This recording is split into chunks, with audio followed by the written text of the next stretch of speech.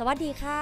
ตายอรไทยค่ะ โอกาสของน้อง ๆ ที่มาของเพลงมาฮอดแล้วเด้อค่ะ ตอนนี้ GMM Academy นะคะ เปิดออเดชั่นหาศิลปินฝึกหัด สายลูกทุ่ง ลูกทุ่งอินดี้หมอล่ำนะคะ เพื่อมาฝึกที่สิเป็นศิลปินในสังกัดแกรมมี่โกและก็ไทดอมมิวสิกนะคะ